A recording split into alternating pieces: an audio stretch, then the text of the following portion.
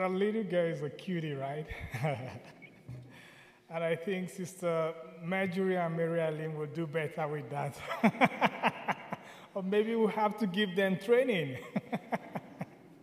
Good evening. One thing I cherish so much about Jesus is his mission to reveal the merciful love of the Father. He demonstrated it in today's gospel when he healed a leper.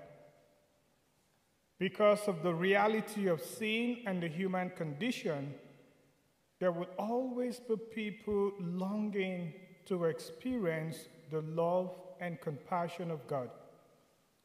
We will always have the poor, the needy, the sick, and the lost amongst us. Like Jesus, the church exists to reveal the merciful love of the Father. Through the annual CDA appeal, we are all given the opportunity to demonstrate in a very concrete way the love of God to those in need. We at Our Lady of Joy have over the years responded very generously to the CDA appeal. I know that our bishop is eternally grateful to you for all the sacrifices you continue to make for the church here in the Diocese of Phoenix. Thank you for accepting to make God real to those in need through your generosity.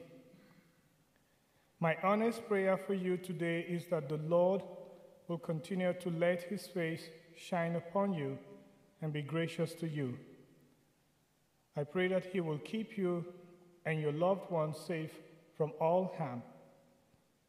I pray that you will enjoy good health of mind and body I pray that you will not lack joy and peace in your life, even during this trying time. And may His grace keep you in all your ways. Amen.